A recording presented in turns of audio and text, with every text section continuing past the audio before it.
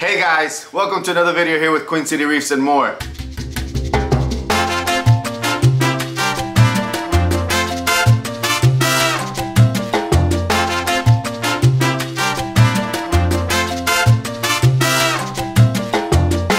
Hold on, we interrupt these messages just for a quick update. As you can see, my beard is back. The consequences of shaving your beard, white hair is growing out. Not sure what that's about. Uh, but it's all because I shaved it all off, not because of age or anything like that. if you are new to the channel, you consider subscribing. If you know, hit the like button, comment below, and share the channel. Without further ado, let's go back to the video. Today, guys, we're gonna discuss the Ice Cap CO2 scrubber. Uh, it's been a bit over two months now since I installed it, and I know I was gonna keep you posted on how long it lasted. I think the problem with that is that I've had different issues come up, not around it itself, but me either having to turn off the skimmer because it's pulling out too many nutrients out of my tank, which is kind of pelling out my corals. If not that, you know, I forget to turn it back on or whatever the case is. So, so I finally did. I'm gonna show you some clips now. The next few clips is gonna be of me actually changing the media and going to start this process all over. You know what? I just realized what I have in the background here. I'll, I'll, do better at this, but let me know. So I'm, I'm thinking of this being my main spot of where I actually record video, where I actually have to talk to you straight to the camera and then show clips of what I'm talking about. I still have a lot of content that I, that I need to put out so that you're up to speed on everything that's going on. You'll see a lot of videos that, are come, that come out that are not fully the way that I want them to be. Like right now, as you can see, I have this camera. I actually have it on a tripod. I have a light. If I didn't have this light, you'd see a lot of blue. Just let me know what you think. Do you prefer this setup here? I'd, I'd really like to have a spot where I actually sit down and chat with y'all. Tell you, you know, what I've done, what I'm doing, show you clips of what I'm talking about, whatever the case may be. In this video, of course, it, this is an update to the Ice Cap CO2 scrubber, what my thoughts are on it, Let's go ahead and roll this video here, show you what I did to change the media out, uh, discuss how much media there is in there, show you exactly what the pH was before the media change because it actually had been exhausted already so you'll see what it, it truly is without CO2 scrubbing pretty much. Then I'll show you what it is after the new media is in there, what it raised the pH up to and what my final thoughts are on having a CO2 scrubber. How many of you use a CO2 scrubber and what size tank do you use it and how long does this media last you? Uh, if you're not using CO2 media to boost up your pH, what are you using? Without further ado, let's get to the video. Alright guys, so I figured uh, this is the time to document this on the CO2 media that I keep, not on purposely postponing, but th things get in the way and you know I just want to do some quick maintenance. I make you know I, I, change it real quick and all that. And so right now I want to actually document it as of today. What I use is bulk reef supply. I buy the 7.5 pounds of CO2 absorbent media and I'm refilling it now. This is actually from Fish of Hex. I use this really for the DI but I figured it worked perfectly for this as well uh, let me show you something else real quick. So you'll see that the pH is at 7.9. Normally I have it at 7.7. So I just took it off. I knew it was exhausted already because as you can see, you see the 8.0 and every day I had been seeing it go from 8.3 to 8.2 to 8.1 and so I'll, I'll see if I document that but uh, to be honest um, I'll just really focus on the main points. It's at 7.9 right now that I took it off and so we're refilling it now and I'm gonna connect it to the I'm gonna connect it to the skimmer and we'll then see how long it takes for it to start rising again. At this time, it is 2.22 in the afternoon and I'm gonna go ahead and finish filling this up and then I'm gonna connect it. So I like uh, packing it all the way up as much as I can. Uh, you'll see some dust residue here, but I'm not too worried about it. This does not need to be sealed enough because it's not like water's passing through it. Oh look, it's dirty in here. I'm noticing this. I'm gonna have to clean that up. If you were to use something similar that uses this so that you're not so that there's no water leaks, then you definitely want to make sure that this is absolutely clean because if not, then you'll have a leak. But this is not made for that. So let me grab uh, something to clean this real quick. But I wanted to show you real quick how I pack it up all the way to the top. Now I do have a question for those that use CO2 scrubbers. I'm not sure if you use this one in particular, so my question essentially is for this one, but your thoughts on those that you use. So I know like for BRS, the canister ones, uh, and I think I've seen another one too where they say, you know, you can add like a tablespoon or something of water at the bottom of the canister to help produce that humidity that's supposed to help the CO2 scrubber. Now, I don't know if to do that here. I mean, I literally would have to use, I guess I should have showed you what it looked like and you probably see it on my other videos, but there's a plastic that goes all the way to the rim that does not allow the media to go all the way to the bottom and there's a foam deal. I'm not sure how you would even get water there unless you like would pour it through one of these tubes um, that go to the bottom. But those that have used it, do you actually use the recommended way of putting water there or not? I mean, I have actually seen it function, but I'm not sure maybe adding water would make it last longer or maybe there's an issue with, you know, if you don't use water, then it would only use about 60, 70% of the media before it becomes exhausted and, you know, you waste about 30% of it. Not sure, but just a question for those that you do use CO2 scrubbers. Do you put water at the bottom of your canister? All right, so here it's all nice and neat. This, of course, I just put it over here. And we're gonna connect this device right there and we're gonna turn it on but I gotta put the cup back because I went ahead and used this time to um, clean the skimmer cup actually my wife did she's helped a lot today so let me uh, put this back and then we're gonna turn it on and then uh, for you will be again you already know the magic of YouTube uh, for you it'll be a few seconds for me it will be maybe an hour or two once I start seeing it up I'll record it but Guys, I think I'm gonna take this time to uh, remind y'all if y'all are not already subscribed, consider subscribing. I'd really, really, truly appreciate it. It'd mean a lot to me. It'll help this channel out, help it grow. Those that are subscribed would really appreciate if you like this video, hit the like button, leave a comment below. Let me know if you have any questions. Those that have been continue to be subscribed, I really appreciate it. Those that have been commenting and liking, I truly appreciate it. Those that are not, please consider it. Uh, and so, all right, let's let's move forward.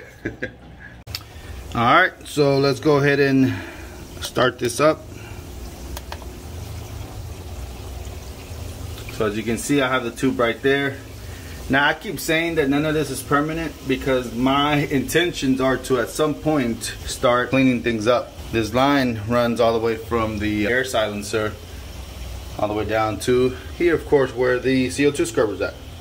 For those that don't know how a CO2 scrubber works Pretty much that in there is CO2 media. It's a mixture of calcium hydroxide and sodium hydroxide that will strip the CO2 from the air, from ambient air. So as you can see here, the air silencer that pulls air from, you know, ambient air is then sucked in through here and then passes through the CO2 media to strip the CO2 out so that the air that's going into the tank is not air with CO2 pretty much, right? And that's what causes then for the uh, pH levels to go up. So at the time of me connecting this, you'll see the pH being at 7.92. It was at an all-time low of 7.87. So we'll monitor that 7.92. I just turned it on at 237. While we're waiting, I do have a question for everyone. I see all these nice tanks where the cabling is amazing. The cable management is amazing. You don't see a lot of cables. They're all behind something. They're all tied up in zip ties or that Velcro ties or whatever the case is. And yes, absolutely it looks amazing. It looks clean and most of the time it looks safe. So my question to y'all is, how do y'all go about cleaning y'all's equipment when it comes time for that.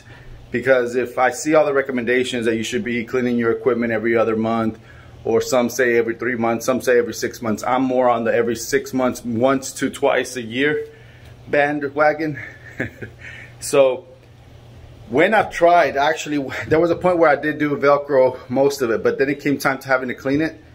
And at that point, I was like, oh no, I am not going to uh, be untying, tying, untying this all the time. So I decided to leave it untied and that's why you see a mess when cabling because I want to clean these pumps as more often than possible, but one of the drawbacks was that, or one of the things that made me not want to do it is because I had the cabling so nice and neat and having to undo it. So how do y'all do it? Do y'all have some quick connects? Did you have to modify anything with the pumps to be able to even be able to take it out, take it to your sink or next to your tank or whatever you do? That's my other main question for this video. How do those that have awesome cable management manage to clean your equipment? And if you're, if I guess maybe the answer is you do go through the trouble of untying it and so on and so forth and redoing it. How long does that take you? Because, man, I just, I'm trying to somehow figure that out. But anyways, guys, uh, see you in a moment. We'll uh, monitor how this pH goes up. All right, so this is gonna be the final update of tonight on this. As you can see, it is 628 right now, and it is at 8.06. This is not the highest that it will get. It actually will get 8.1, 8.2. And I'm actually happy with that. I've noticed that the intake of alkalinity that these corals take end up being a lot more. So I have to dose a bit more often. Yes, I'm still manually dosing. I prefer it that way, but I am thinking of uh, putting a dosing pump that I could still manually control and not let Trident be the one to control it. So for now, I'll keep an eye on the CO2 scrubber. Once I start seeing it go back to the 7.8, 7.9 is what I know that the media has normally run out. I will keep an eye on that so that I can tell you exactly how long this lasts. Um, aside from that, I'll catch you in a minute and we'll go from there. I figured one more, one more, why not, right? It is 8.29 p.m. and the pH is at 8.12. Again, when I don't run a CO2 scrubber, then I would have my my pH fluctuates between 7.6 to 7.8. When I have the CO2 scrubber running, I fluctuates between 7.9 to 8.2 and some I've seen it go to 8.3 and I will record tomorrow so you can see in a 24 hour period what it looks like then.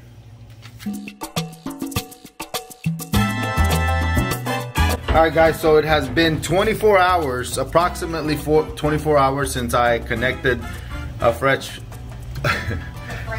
since I've connected a fresh batch of CO2 in the CO2 scrubber. And as you can see here, my pH has gone up to 8.23. All right, guys, the verdict is in. So I changed the media on August 2nd, and today is August 16th. I wanted to show you my pH is back to 7.8, 7.9. So it's not going as low as 7.7, 7.8, but just the fact that it's under 8.0 already is telling me that the media is uh, wearing out. And that puts us at exactly two weeks and one day, which really it has actually been doing this since maybe two days ago, little by little. But uh, pretty much I would say that the media lasts two weeks. I'll give you specs on my tank. It is a 310 gallon. The opening up top, I don't know if this matters. I, I guess I don't know if this matters. I haven't done enough research to tell you the, the logic behind it. But just in case you're wondering, the tank up, up from up top, it is eight foot long, 30 inches from front to back and so that it, it's straight open. I don't have any glass covers or any netting or anything, not yet at least. The sump down here, well, it's a Tideline uh, sump that is really made by Trigger Systems. Uh, it's a special sump that they do for Planet Aquariums. This one is actually six feet long by like maybe 24 inches or so wide. I don't know the exact specs on that. Not sure again if it matters, but I want to give you an idea and, and look at the, all that dark skim right there. I just want to give you an idea on my system so that you understand. It's 310 gallons, most likely about 350, give or take, with you know the rocks in there, the sand in there, and you know the water volume inside the sump. And there is four pounds of media. So there's two uh, options when it comes to the BRS CO2 scrubber media and there's a 1.2 pound and there is a 7.5 pound. The 1.2 pound is 6.49, $6 with 49 cents American dollars and the other one is $35 and 99 cents. This media container takes 4.4 pounds of media. So depending on how you break it off, if you buy a few of the 1.2 or the whole 7.5, I do the 7.5, you're talking about about $17, 16 to $17 when you use the, you know, to refill it once. And then on the second refill, you actually end up needing more because 4.4 times 2 makes 8.8 .8, basic math, right? Um, watch it not be. 8.8 .8. And, and that one is 7.5. So you're talking about every maybe month using about $40. You know, I'm not doing a calculator. If you really want to know the real math, just, you know, it's $35.99 uh, for a 7.5 and this takes 4.4 and uh, it, it, it exhausts itself after two weeks of use. So four weeks makes it almost a month. There you go. So about 40 bucks a month that I would have to use in order to keep this. So I'm conclusion, is it worth it? I mean, it's up to you. I personally think it's a lot of money for the pH, especially when we all know that some have been able to get away with 7.8 um, I again I fluctuate between 7.6 7.8 mainly 7.7 7.8 but I've seen it go down to 7.6 I haven't really measured my CO2 in here to really see what it is that causes it whether it's whenever we're all downstairs or you know whatever the case is. Is it worth it? No. I, am gonna try to implement a kalkwasser reactor I can maybe extend the life of the CO2 scrubber by an additional two weeks by maybe running it only at night along with the skimmer being that I'm trying to control uh, the amount of nutrients that the skimmer's pulling out anyways. And then the other half of the day using the Kalkwasser reactor so it can dose you know um, Kalkwasser but anyways guys uh, hope you liked the video and I will catch you on the next one